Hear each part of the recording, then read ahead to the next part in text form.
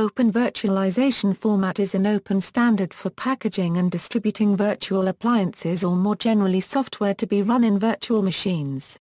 The standard describes an open, secure, portable, efficient and extensible format for the packaging and distribution of software to be run in virtual machines. The OVF standard is not tied to any particular hypervisor or processor architecture.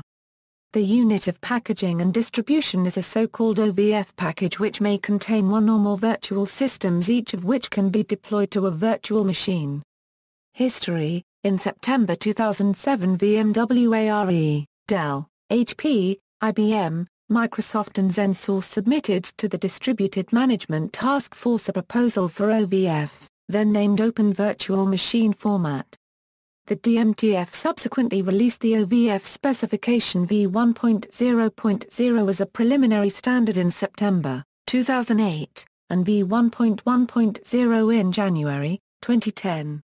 In January 2013, DMTF released the second version of the standard, OVF 2.0 which applies to emerging cloud use cases and provides important developments from OVF 1.0 including improved network configuration support and package encryption capabilities for safe delivery.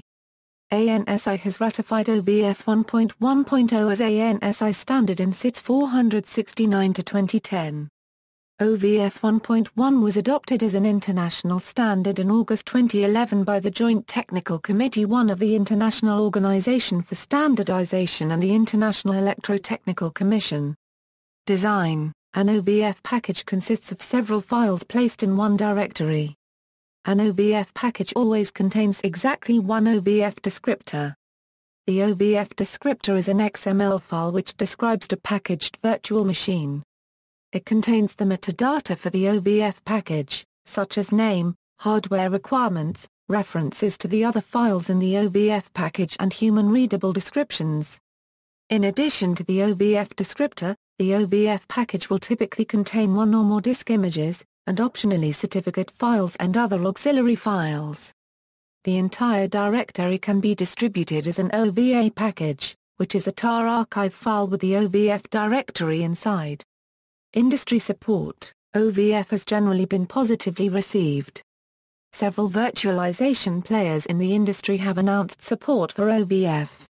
See also, VHD, VMDK, references. External links, official website, DMTF OVF white whitepaper, VMware OVF whitepaper.